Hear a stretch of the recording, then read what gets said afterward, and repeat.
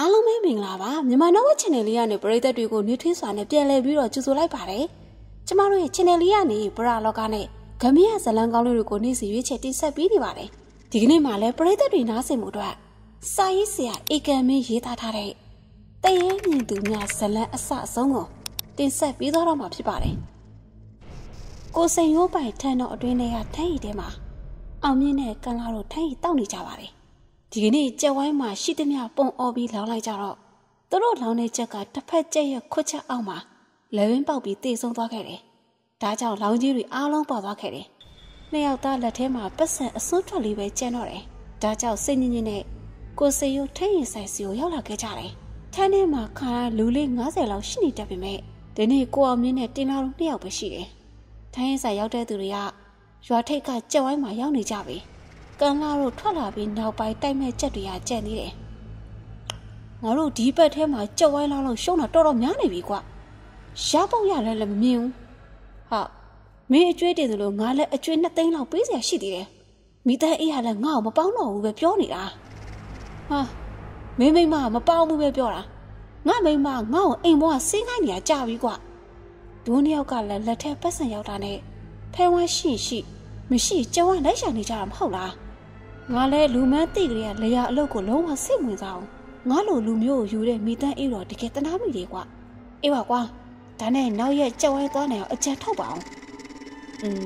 အခုတော့ထန်းရင်လေးအေးအေးဆေးဆေးတောက်ပြစေအောင်ညเจ้าမရပေါက်ရလန်းနေစဉ်းစားတော့မယ်အဲ့ဒီချိန်သူတို့ထန်းရင်ဝိုင်းအနီးရွာထဲကတာစိန်ရောက်လာခဲ့တယ်တာစိန်ကအောင်မြင့်တို့ကျောင်းနေပါတငယ်ချင်းဆိုပေမဲ့လောင်းကစားကိုဝါသနာမပါအောင်အိမ်နာမပြုတ်သေးပဲမိခင်မုံဆိုးမကြီးနဲ့နေကဝါထင်ရရဲ့ရောက်နေ ဝိုင်းရင်မျိုးနွေကိုမျိုးစုံလုပ်လို့ရောင်းချတတ်တယ်။သူတို့ရွာနဲ့အနောက်ရိုးမက9မိုင်လောက်ပဲဝေးတော့တောင်ပေါ်မှာဝါးသွားခုတ်ပြီးရွာနဲ့မနီမိုးကြီးမှာရှိတဲ့ချောင်းကိုအဖော်ပြုလို့တောင်ပေါ်ကဝါးတွေကိုဝါးဖောင်လုပ်ပြီးမျောချလာတယ်။မိုးရင်းခုတ်ပြီးစူးစောင်းထားတဲ့ဝါးတွေကိုရွာမှာအတုံးလိုတဲ့ထရန်ရင်းလိတ်မျိုးနွေကိုပြုတ်လို့ရောင်းချပြီးတော့တာမီနီကဝိုင်းရင်ဖြစ်ရှင်းနေကြတယ်။လာကွာတာစိတ်ထိတ်တောက်သွားအောင်ဘယ်လိုလဲရွာထိတ်မှာကြုံရတွေ့ခဲ့တယ်။မင်းတို့မသွားဘူးလား လောင်ကြီးရှုံးလို့စော့စော့ပဲထွက်လာခဲ့တာ။အော်ဒါဆိုမင်းတို့တောက်ထားတာကိုငါပေးပါမယ်။ငါ့အတွက်တမျိုးမှခဲ့တယ်။ဘာလဲမင်းအချင်းကြီးကောင်းနေလို့လား။မဟုတ်ပါဘူးကွာလုံးလုံးစားစားပေါ့။မိုးရင်းကခုတ်ထားတဲ့ဝါးတွေကိုဒီနေ့မှတဖြည်းဖြည်းချင်းဖြုံးနေရတာ။ထရံမားတဲ့လူတွေရှိမှထရံရက်ပေးတာ။ဝါလည်းမလို့ဝိုင်းမှရင်လှုပ်ပေးရတယ်။မိုးကြကနေမျိုးလှုပ်ပြီးရောင်းတယ်။ဒီလိုနဲ့စားလိုက်ရလိုက်ကုန်တော့တာပါပဲ။ ဒါနဲ့မင်းအဖိုးစီကအကူကြီးမရဘူးလားကွာအဖိုးမှလဲတွေအများကြီးရှိပေမဲ့အဖိုးကအမေကိုအဖေနဲ့သဘောမတူလို့နှိမ့်ချထားတာလေအခုအဖိုးဆုံးတာတနေ့ပြည့်ပြီအဖိုးစီကဘာမှမရလိုက်ဘူးဒါဆိုမင်းတို့အမေရဲ့မောင်နှမသားချင်းရောဘယ်နှယောက်ရှိရလဲအမေနဲ့ဆိုရင်မောင်နှမ၈ယောက်ရှိတယ်ကွာအားလုံးကလည်းရှိသေးတယ်အဖိုးကျန်တဲ့အမွေတို့တော့ဦးလေးတွေအတော်တွေပဲခွဲဝလိုက်ပြီမင်းအဖိုးကလည်းမင်းဖေဆုံးတာပဲကြပြီမင်းတို့သားမင်းမင်းတို့အဖိုးစီပြန်တဲ့နေကွာ အမေကစိတ်ကြီးတယ်အဖိုးကမခေါ်မချစ်မပြတ်ဘူးတဲ့အဲ့ဒီချိန်ကိုစိန်ရောကထန်းရင်လာချပြီးတော့တာစိန်နဲ့အောင်မြင့်တို့တောက်ဖို့ထပ်มาပေးလိုက်တယ်တာစိန်တို့အချိန်ကြီးကောင်းလာတယ်ထင်တယ်ဟာဘယ်ရတာဒေါ်နေမြမှာထားတဲ့ထရင်နှစ်ချက်ကိုရှိနေလို့ထန်းရင်ဝင်တော့ရင်အောင်မြင့်တို့ကပါတိုက်နေတာပါကိုစိန်ကတီးပါဦးကွာကြောက်ဝိုင်းကနိုင်ပြီးရောက်လာတယ်မှတ်လို့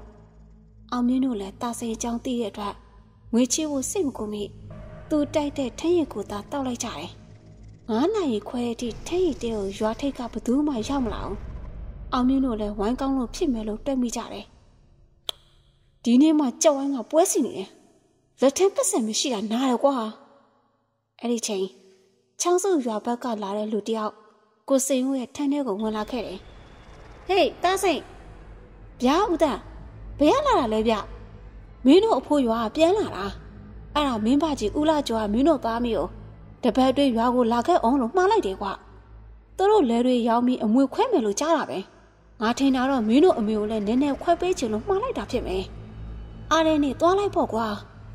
အမေကသွားမယ်မထင်ဘူးဦးတန်းရဲ့အဖိုးနဲ့ရွာကိုအတော်လေးစိတ်နာနေတာဟာမင်းအဖိုးလည်းရှိမှမရှိတော့ပဲ哦သွေးရင်သားရင်ဆိုတာဖြတ်လို့မရဘူးကွာ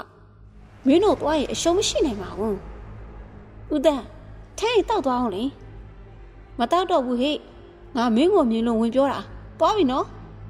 ဦးတန်းထွက်သွားတော့အောင်မြင့်ကစကားဆလာတယ်တာစိန်ငါသဘောပြောရရင်မင်းတို့သားမျိုးသွားတင်တယ်ကွာဒါလည်းအမေသဘောပါကွာအမေသွားမယ်ဆိုရင်ငါတော့လိုက်ဖို့ပေးရမှာပေါ့အာမင်းကလည်းဘာပဲဖြစ်ဖြစ်မိဘအမွေးဆိုတာတာသမီးနဲ့ခံစားထိုက်တာပေါ့စကားပြောရင်ထိုင်းရင်တောက်ရင်နဲ့အချင်းကြီးကုန်သွားခဲ့တယ်ကိုစိန်ရိုးတို့ထိုင်းရင်ဆိုင်မှာလဲကြဝိုင်းသိမ့်မိမို့လူတွေစီကားလာခဲ့တယ် နိုင်သူတွေကပြောလို့တောက်တယ်ရှုံးတဲ့သူတွေကညင်ညင်နဲ့တောက်ကြတယ်စူတဲ့ဝိုင်းကဆိုငိမ့်တဲ့ဝိုင်းကငိမ့်နေတယ်တာစိန်တို့၃ယောက်ကတော့ဝိုင်းကိုလက်ဆက်တက်ပြီးထိုင်းရီဘူးကိုတာစိန်ကရှင်းလိုက်တယ်ကဲငါသွားမယ်မင်းတို့ဘယ်ဝိုင်းသွားထိုင်အောင်မလို့လဲတော်ပါ ਈ ကွာဘိုက်တွေလည်းတင်းနေပြီဆိုတော့သွားတော့မယ်အောင်မင်းနဲ့ကန်လာဟာသူတို့အိမ်ရှိတဲ့လမ်းဘက်ကိုချိုးသွားတော့တာစိန်လည်းသူ့တယောက်တည်းဆက်လျှောက်လာခဲ့တယ်။တာပဲသွားလိုက်။ ဟိုရောက်ရင်တားဘကြီးတို့တားဦးလေးတို့အတော်တို့တားကြည့်ကောင်းပြောလိုက်။အမေကနည်းနည်းနေမကောင်းချင်တယ်လို့ဖြစ်လို့လိုက်မလာဘူးလို့။နှွေးရောက်မှအမေလာခဲ့မယ်လို့ပြောဟုတ်လား။ပြီးတော့ငါသားလည်းအမေကြောင့်ဆွေမျိုးနေနဲ့အနေစိမ့်နေပြီ။နောက်ကမကြမကြသွားပေါ့။အမေမရှိတော့ရင်ဒီဆွေမျိုးပဲတာအားကိုလို့ရမှာ။อืมအဖေနဲ့အမေကတားရဲ့အဖိုးကြောင့်အနေစိမ့်သွားပြီမဲ့တားရဲ့အကြီးတွေအတော်ဦးလေးတွေအားလုံးကတားကိုချစ်ကြပါတယ်။ ဟိုရောက်ရင်အင်းစိတ်လိမ်မှပြန်ခဲ့ဟုတ်လား။ကျွန်တော်ကတော့အမေကိုပါလိုက်စေချင်တာဗျ။အခုတော့မျက်စိတင်ငင်နားတင်ငင်နဲ့သွားအောင်မယ်။တားရဲ့ဟိုရောက်ရင်မျက်စိတင်ငင်ချင်းတော့ရောက်မှာမဟုတ်ဘူး။ကဲကဲမနဲ့စောစောထသွားလိုက်။ဟိုမှာတညက်ညက်အိပ်ပြီးမှပြန်ခဲ့။ပတ်စံပေးရင်လည်းတူတူဝဲဝဲပြုတ်ပြီးပြန်ခဲ့ဟုတ်လား။ဒီလောက်တော့တားသိပါတယ်အမေအားအမေစိတ်ချလက်ချအိတ်တော့မနဲ့ရွာ9နိုင်လောက်ထသွားရင်ချောင်းစုရွာကို10နိုင်မထိုးကြရောက်သွားမှာပဲ။ အော်တားရဲ့ဘာကြီးကြော်လာတော့အိမ်ကိုအရင်ဝင်တော့။ तू ကအမေအကိုအကြီးဆုံးပဲ။တားသိပါတယ်အမေရာအမေစိတ်ချလက်ချတာအိတ်တော့တားလည်းအိတ်တော့မယ်။တားစိန်ကအတင်းအိတ်ခိုင်းနေတော့ဒေါ်ထေးအိတ်ရတယ်ဝင်သွားတယ်။တားစိန်တယောက်ချောင်းစုရွာကို10နိုင်လောက်ရောက်သွားခဲ့တယ်။ဘာကြီးကြော်လာတော့အိမ်ကိုဝင်တာနဲ့ဦးကျော်လှရဲ့တာသမီးတွေကတာစိန်ကိုတီးတဲ့အတွက်ဝမ်းသာအားရစီးကြူတော့တယ်။နေနိုင်လိုက်တာလို့လဲစကနာထိုးကြတယ်။ တာစိန်ကလည်းဆွေမျိုးတွေကျင့်တတ်ဖို့ရှင်းပြရတယ်။ဘာကြီးဆွေမျိုးတွေအိမ်လျှောက်သွားအောင်ညကြမှာစကားပြောကြတာပေါ့လို့ဆိုလာတော့ဘာကြီးအိမ်မှာခဏထိုင်ကစကားပြောပြီးဘာကြီးရဲ့မြေတရက်ကိုအဖော်ခေါ်ပြီးဆွေမျိုးတွေရဲ့အိမ်ကိုလျှောက်လိုက်ပါတော့တယ်။ညစာစားပြီးရတဲ့ဘာကြီးကတာစိန်တို့မိသားစုအတွက်ငွေ15သိန်းထုတ်ပြီးတယ်။ဒီငွေကိုကြစ်ကြစ်ပအောင်ထုတ်တော့မင်းရဲ့အဖိုးလက်တအေကောက်တသိန်း2000စီးနဲ့ရောင်းလိုက်ရတယ်ကွာဧက100ကျော်သိန်း150ရတယ် မင်းရဲ့အဖိုးအတွက်အလူလုပ်ဖို့သိန်း30ဖိတ်ထားပြီးကျန်တဲ့သိန်း120ကိုမောင်နှမ၈ယောက်အညီမြောက်ခွဲတာတယောက်ကို15သိန်းစီရတယ်ကွမင်းတို့ရွာမှာလဲပြဝဲမဲဆိုရင်တော့တအေကတသိန်းခွဲလောက်ပေါက်လိမ့်မယ်ဒီမှာလည်းတသိန်းခွဲပဲကွလဲ9ဧကလောက်ဝဲလိုက်နွားတရှိနဲ့လှဲ့တစည်းဝဲလဲ9ဧကဆိုအလွန်ကျိုး8သိန်း9သိန်းပေါ့ပြီးတော့ပိုးတော်ကိုချက်ထဲမှာအိမ်ကောင်းကောင်းလေးဆောက်မင်းအိမ်အောင်ပြုတ်ချင်လဲပြုတ်ပြီးတော့ပိုးတဲ့ပတ်စံအောင် မင်းအမေလှူချင်လဲလှူသူဆန္ဒရှိတယ်လို့လုပ်ပြီစီပေါ့ဟုတ်ကဲ့ပါကြီးကျွန်တော်လဲလောက်ချင်တာကြာပါပြီလဲရကမရှိအရင်နေရမရှိဆိုတော့ကျုံဟာကြာပန်းလုံနေရတာအေးချစ်ချစ်ချုပ်ချုပ်သုံးနိုင်တော့လက်ထက်3လေးသိန်းပုံမှာအမှန်ပေါ့ဩဒီပတ်စံတွေကိုလွယ်ထက်တေးသေးချာချာထည့်သွားလမ်းမှာဘသူမှမဝင်နဲ့ဟုတ်လားဟုတ်ကဲ့ပါကြီးအေးအေးအေးအဲ့ချင်းအိတ်တော့မနှက်စာစားပြီးနေမပူကြီးရွာကိုအရောက်ပြန် အဲ့လိုနဲ့ငွေထည့်ထားတဲ့လက်အိတ်ကိုခေါင်းပေးထားပြီး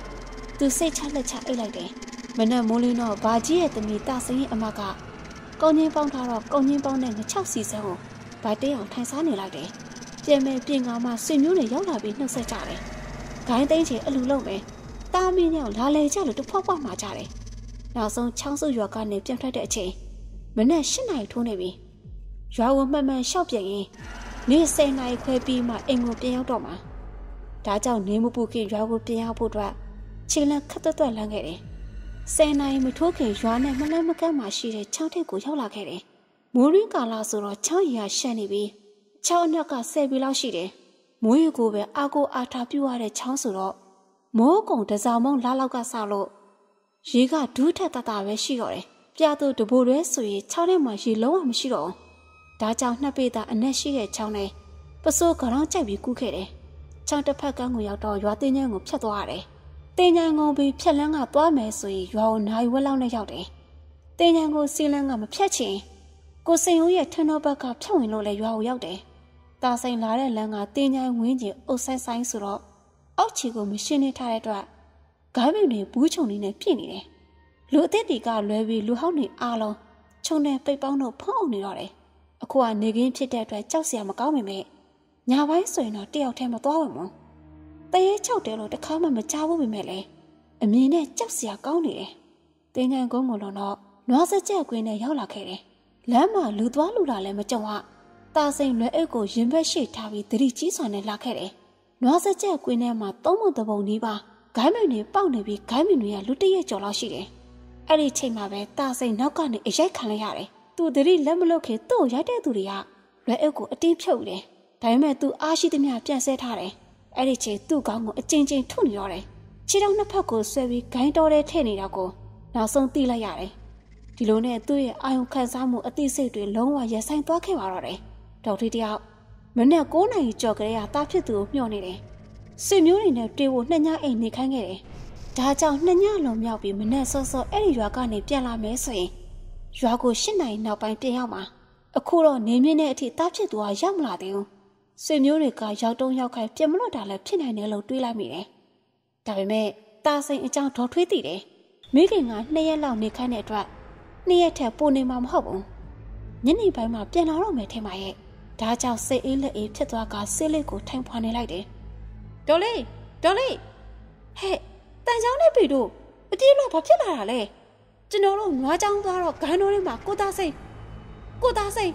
ဟုတ်ဟုတ်ဟဲ့ စကားပြောရင်ထင်နေပြန်ပြီ။ဘာမြင်ခက်လို့လဲပြောစမ်းကိုသားစိတ်ဂန်းတော်ထဲမှာတည်နေတယ်ဗျ။ဟင်ဖះဖះတော်ရင်လာရင်မွေပါကင်းမထိုးလို့လား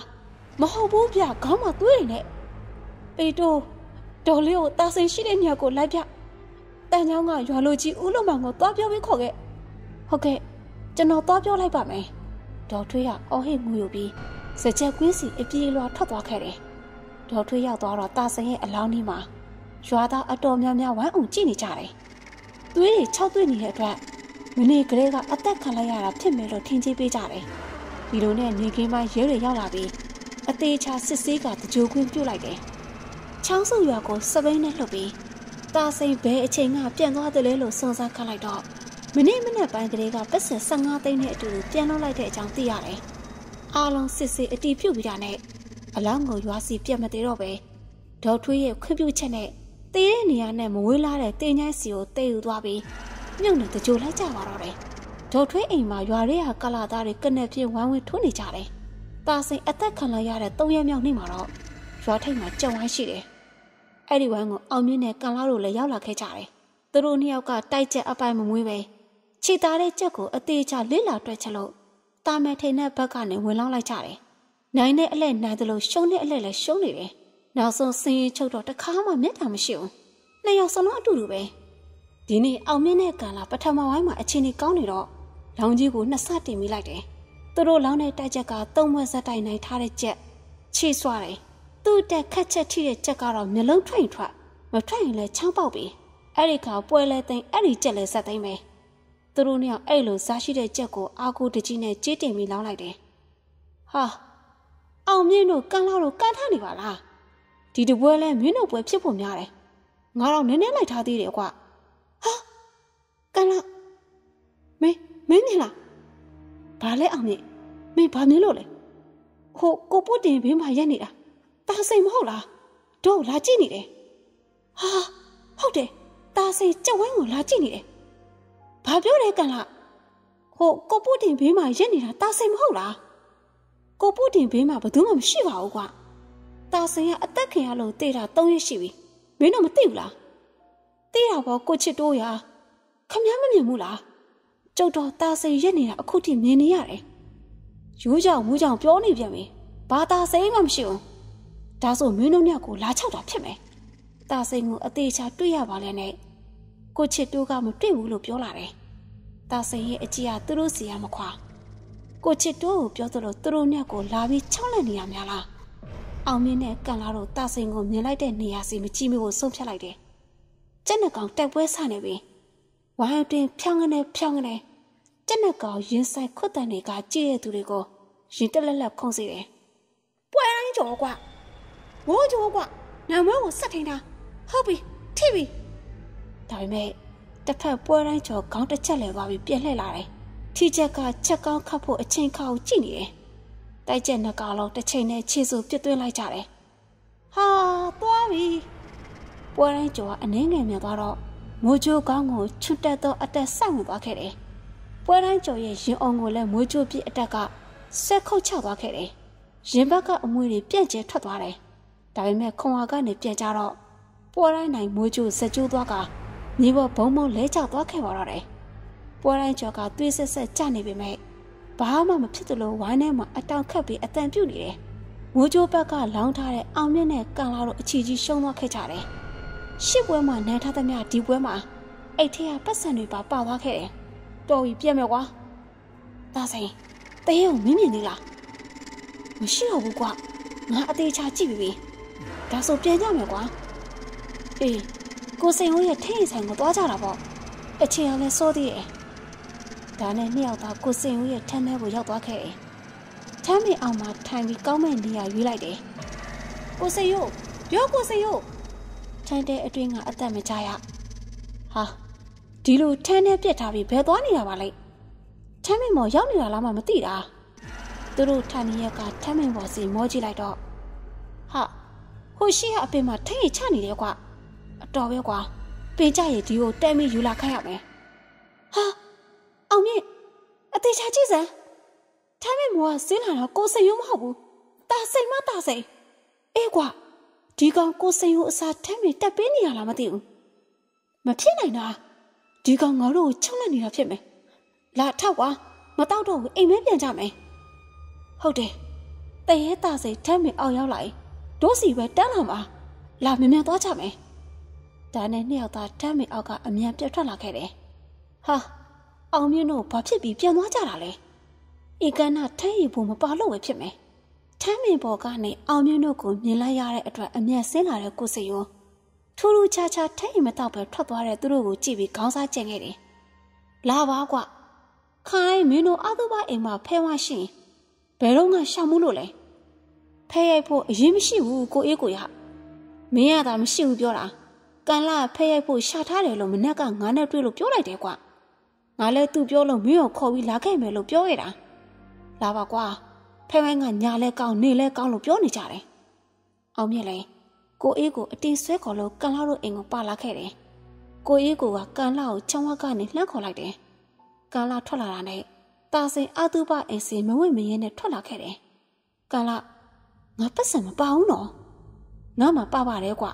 ငါအကြံဖတ်လှုပ်ထားတယ်မင်းတဝက်ယူပြီးတော့ပြန်ပြီးတော့ ငါ့ကိုလည်းပိုရှရင်မြအောင်လေကွာဟာကိုရေးဝါလေအောင်မြင့်ကိုမျှပေးလိုက်ကျုံမှာတဝိုင်းနှဝိုင်းစာပဲရှိတော့တာမမျှရင်လည်းနေကွာငါမှပါတာကုန်တော့ရက်တာပေါ့ခမရပါစက်ကြီးကလည်းမင်္ဂလာမရှိလိုက်တာဗျာစကားတပြောပြောနဲ့အာသူဘအိမ်ကိုရောက်လာခဲ့တယ်တာစိန်ဆုံးတာ၄ရက်ရှိသွားပြီနေတနာရီကဆောက်လို့ဖဲဝိုင်းဖြစ်နေပြီကနက်ပြင်းအောက်မှာဖဲဝိုင်းနှစ်ဝိုင်းအိမ်ပေါ်မှာတဝိုင်းအောင်မြင့်တို့အချင်းလေးကိုအကဲခတ်နေတယ် အဲ့ဒီချိန်ဒုံငနဲ့အတန်ကြားလိုက်ရလို့ဟဲ့ဘာတန်လဲမိဖို့ခန်းထဲကအိုးခွက်တွေပြုတ်ကြတာဟဲ့နေကင်းကြောင်တုံကြီးတာဆိုင်တောင်းချနေနေတူတယ်ဆော့ဆော့ကဘာအတမ်းမှမကြားပါဘူးဧည့်သည်တွေကိုကျွေးမွေးအခမ်းမငှားထားတဲ့အိုးခွက်ပကံနေမန်းတွေတင်ထားရကနေအောက်ကိုကြောက်ကုန်တယ်ဟာလှေကားဘဝဆင်းလာတာတာစိန်ပဲအောင်မြစ်ကကြောင့်ဖဲဝိုင်းကလူတွေလှည့်ကြည့်လိုက်ကြတယ်ဟုတ်တယ် တာစိန်အောက်ဆင်းလာပြီကန်လာပါတာစိန်ဆင်းလာတဲ့အကြောင်းပြောပြနေဟဲ့အောင်မြင့်နဲ့ကန်လာနေကြီးကြောင်တော့ဘယ်ကတရေကိုမြင်တာလဲမင်းတို့မဟုတ်မဟတ်တွေနော်ဘယ်ကတရေမှမဟုတ်ဘူးတာစိန်မတာစိန်ဟောဟောဖဲဝိုင်းဘက်ကိုလာနေပြီဟာဒီကောင်နဲ့အကြောင်လာရနေတယ်ငါတို့တရေကြောက်ပြီးထပြေးပတ်စံဝင်လို့မလို့မဟုတ်လားဟာမဟုတ်ပါဘူးဗျတာစိန်ကိုခမရတော့မမြင်ဘူးလား မမြင်ဘူးဘာတာစိန်မှမရှိဘူးအလုံးကတညီတညာတဲ့ဆိုလာတယ်သူတို့ကသာမရှိဘူးလို့ပြောနေတာတာစိန်ကသူတို့အနည်းကိုရောက်လာခဲ့ပြီမင်းတို့ကငါတတ်မယ်အောင်မြင့်မင်းကငါတတ်မယ်ဟာတာစိန်သူငါနားမလားနဲ့ဟဲ့တာစိန်မင်းကတိတ်နေပြီလေငါတို့တော့မလားနဲ့ ဆော့ဆော့ကသူတို့ကိုနှောက်ပြောင်နေရလို့ထင်နေကြတဲ့ဖက်ဝဲငါလူတွေလည်းမျက်စိပြက်မျက်နှာပြက်အော်ဟစ်နေတဲ့အောင်မြင့်နဲ့ကန်းလာကိုကြည့်ပြီးအားသိနေကြတယ်။အောင်မြင့်နဲ့ကန်းလာတို့မြင်နေရတယ်ဆိုတဲ့တာစိန်အောင်ရှိတဲ့မြောက်လူတွေအားလုံးမမြင်ရအောင်။ကန်းလာနဲ့တာစိန်ကတော့အသေးအံအော်ဟစ်နှစ်ထုတ်နေတယ်။သွားငါတို့နားမလာနဲ့မင်းကသိပြီလေငါတို့စိတ်မလာနဲ့မင်းတို့ငါ့ကိုကြောက်နေတာလားငါသေးတယ်လို့မင်းတို့နှစ်ယောက်လည်းသေစေရမယ် ငါအောင်မြင့်ကိုအရင်တတ်မယ်အေးဟာတာစိန်မင်းငါ့မတတ်ပါနဲ့ငါမင်းကိုတတ်တာမဟုတ်ပါဘူးမင်းတတ်တာမဟုတ်ရင်ဘယ်သူတတ်တာလဲကန်းလာလားဟုတ်တယ်မင်းကိုကန်းလာတင်းညံငိုကကောက်ထားတဲ့အုတ်ခဲနဲ့ထုတာမဟုတ်ဘူးငါမတတ်ဘူးတာစိန်ငါလူမတတ်ရင်မရအောင်ငါတည်တယ်လို့မင်းတို့သိစီရမယ်တာစိန်ကအောင်မြင့်လေဘင်းကိုညှစ်ဖို့လှုပ်လိုက်တဲ့ချိန်အောင်မြင့်ကကြောက်ကြောက်လန့်လန့်နဲ့ယွန်းရင် ငါတို့ခွန်းလို့ပါတာစိန်ရဲ့မင်းတို့ငါတို့နှစ်ယောက်စလုံးအုတ်ခဲနဲ့ထုတက်ခဲ့တာပါအာကြောက်ပါပြီတာစိန်မတတ်ပါနဲ့ကြောက်ပါပြီအဲ့ဒီချိန်ဖဲဝါးနဲ့ထန်နေတဲ့လူနှစ်ယောက်ထလာပြီးအောင်မြင့်နဲ့ကန်လာတို့ကိုလက်ထိတ်ခတ်လိုက်တယ်တေသူတာစိန်မှာပါလာတဲ့ပတ်စံတွေပျောက်ဆုံးသွားတဲ့အတွက်ကြက်ဝိုင်းမှာရောဖဲဝိုင်းမှာပါစုံစမ်းထောက်လန့်မှုရဲတွေရောက်လာခဲ့ကြတယ်။တရေကိုဘယ်သူမှမမြင်ပဲအောင်မြင့်နဲ့ကန်လာတို့သာတာစိန်ကိုမြင်နေရတယ်။ တရေကြောင့်ပဲတေတဲ့အထိဖွင့်မပြောဘူးလို့ဂရီပေးထားပေမဲ့ဖွင့်ပြောလိုက်ရတယ်။ကဲခမများတို့တငယ်ချင်းတာစိန်ကိုဘာကြောင့်တဲ့တာလဲ။ဘယ်လိုတက်တယ်ဆိုတာပြောပြစမ်း။ရဲတက်ကြကြီးကဖြစ်စဉ်ကိုပြောပြခါလိုက်တော့သူတို့မချွေးမချင်အကုန်ပြောပြလိုက်ပါတော့တယ်။ဒေါ်ကြီးဒေါ်ကြီးဟေးဘယ်သူလဲအောင်မြင့်တို့ပါတာစိန်ကိုဝါသုံးလုံးလောက်ဝယ်မဲလို့ပြောထားလို့လာဦးတာပါမင်းတို့တငယ်ချင်းမရှိဘူးကွ သူ့ဦးလေးတွေရဲ့ရွာကိုမနဲ့ကလေးကထွက်သွားခဲ့တယ်။ဒါဆိုသူပြန်လာမှပဲလာခဲ့တော့မယ်။သူမရှိလဲဒေါ်ကြီးစီမှာဝယ်သွားလို့ရပါတယ်။နေနေဒေါ်ကြီး तू ကဝါကောင်းမကောင်းရွတ်တက်တယ်ဗျ။အေးအဲ့ဒါတော့ဟုတ်တယ်ကွ။ကျွန်တော်တို့ပြန်တော့မယ်ဒေါ်ကြီး။ဒါစိကျောင်းစုရွာသွားမသွားသိချင်လို့ဝါဝဲမယ်ဟန်ဆောင်ပြီးဝင်းစုံဆိုင်ခဲ့ကြတယ်။သူတို့ရမယ်အမှုသွားလို့ပဲဖြစ်မယ်ကွာ။ဒီကောင်ပြန်လာရင်9သိန်းနဲ့10သိန်းကြတော့ပါလာမှာပဲ။ ဒါဆိုငါတို့ဘယ်လိုစီစဉ်ကြမလဲ။ရရောက်ချင်းတော့ပြန်လာမှာမဟုတ်ဘူး။ညနေလောက်ကြာမှချောင်းဟိုဘက်ကန်းကိုသွားပြီးအကက်ခတ်ကြည့်ခဲ့မယ်။ဟာချောင်းဟိုဘက်မှာကိုစိန်ရိုးထန်းတော့ဆက်ခွဲတဲ့လမ်းနဲ့ရွာတောင်ဘက်တင်ကြိုင်ပြီးလဲနှစ်ခုစုံနေ။ဒီကောင်ဘယ်လန်းအလာမလဲမသိလို့ချောင်းဟိုဘက်ကသွားစားရမှာ။อืมဒီညမှောင်တဲ့အချိန်ကိုက်မှရောက်မလာရင်မနေ့9နာရီလောက်ကို6တက်ကသွားဆောင်မယ်ကွာ သူတို့ညနေ၄နာရီကနေ6နာရီထိသွားဆောင်နေမယ်ပေါ့မလား။ဒါကြောင့်မနေ့9နာရီလောက်နှစ်ယောက်သာချောင်းထိပ်ကနေပုံပြီးဆောင်နေကြတယ်။10နာရီထိုးကန်ကြီးမှာရွာကိုပြန်လာတဲ့တာစင်ကိုတွေ့လိုက်ရတယ်။တာစင်ဟာကိုစင်ကိုထန်းတော့ဘက်သွားတဲ့လမ်းကနေမသွားပဲ။တင်းတိုင်းဘေးလဲတန်းရှောက်လာတာကိုမြင်လိုက်ရလို့ချောင်းနဲ့အမျက်စင်းကတစ်ဖက်ကန်းစီကူးခဲ့ကြတယ်။အဲ့နောက်တင်းတိုင်းဘေးစီနှစ်ယောက်သာရောက်လာခဲ့ကြတယ်။တင်းတိုင်းနာဆောင်ကောင်းမယ်ကွာ။ဒီနေရာကခြုံနေပေါ့တယ်။ ဟာငါတော့တင်းញိုင်းနဲ့မူရုံတဲကြောက်တယ်ကွာ။မင်းကလည်းနေကင်းပက်ကြီးဘဲကတဲချောက်မှာတော့။အာဂူတွေမြေပုံတွေနဲ့ငါကြောက်တယ်။ကန်လာအတင်းညင်းနေတော့နွားစက်ချက်ကွင်းထဲမှာပေါက်နေတဲ့ဂါးမြုံတွေထဲဝင်ပြီးစောင့်နေကြတယ်။သူတို့ရဲ့လက်ထဲမှာတင်းញိုင်းအဆက်နောက်ကယူလာတဲ့အုတ်ခဲတလုံးစီကင်ထားခဲ့ကြတယ်။တစ်ချက်တန်၅ချက်တန်30ချက်တန်100ချက်တန်သာအသုံးပြုတဲ့အချိန်ဆိုတော့ 15သိန်းလွယ်အိတ်ကြီးဟာဖောင်းကားနေတယ်။လွယ်ကြီးပွေးပိုက်ပြန်လာတဲ့တာစင်ကိုမြင်လိုက်တာနဲ့အနောက်ကနေအတန်မကြောက်လိုက်ပြီးအုတ်ခဲနဲ့ခေါင်းကိုကန်လာကထုချလိုက်တယ်။လဲကျသွားတဲ့တာစင်ကိုအောင်မြအသက်ပြောက်တဲ့အထိထုပစ်လိုက်တယ်။ပြီးတော့တာစင်ကိုဂိုင်းပင်တွေကြားထဲဆွဲသွင်းပြီးဂိုင်းတော်ထဲမှာပဲပတ်စံတွေကိုခွဲဝေကြတယ်။တချို့ပတ်စံတွေကိုနောက်မှလာယူမယ်ဆိုပြီးလွယ်အိမ်နဲ့အတူတူမနေမဝေးဂိုင်းမဲ့ကြားထဲမှာထားခဲ့တယ်။အဲနောက်ရွာတို့ကိုလူခွဲပြီးဝင်လာခဲ့တယ်။ သူတို့နှစ်ယောက်ကိုဘယ်သူမှမတွေ့ကြတော့တာဆိုင်သေးတဲ့ကိစ္စတင်ကမကင်းမဖြစ်ခဲ့အောင်။လောင်ကစားမှန်ရင်မလောင်ရမကစားရမနေနိုင်တဲ့အောင်မြင့်တဲ့ကန်လာတို့နှစ်ယောက်လောင်ကစားဝိုင်းမှာပဲသူတို့ကြောက်ပါတယ်ဆိုတဲ့တရေကလူတက်မှုကိုပြန်ဖော်လိုက်ပြီမဟုတ်ပါလား။ပရိသတ်များရှင်တရေမြင်သူများဇလန်းကတော့ဒီလောက်ပါပဲနော်။နားစင်ရပေးခဲ့ကြတဲ့ပရိသတ်တွေတူးချင်းစီအောင်ကျေးဇူးထူးပဲတင်ရှိသလိုစာရေးဆရာဧကမင်းကိုလည်းကျေးဇူးထူးပဲတင်ရှိပါတယ်ရှင် ဒီဇလန်းလေးကိုတင်ဆက်ပေးခဲ့တဲ့သူကတော့ကျမတကူးမိပဲဖြစ်ပါတယ်ပရိသတ်များအားလုံးပဲကံကောင်းခြင်းပျော်ရွှင်ခြင်းကျန်းမာခြင်းတွေကိုအစင်ထာဝရပဆိုင်နိုင်ကြပါစေရှင်။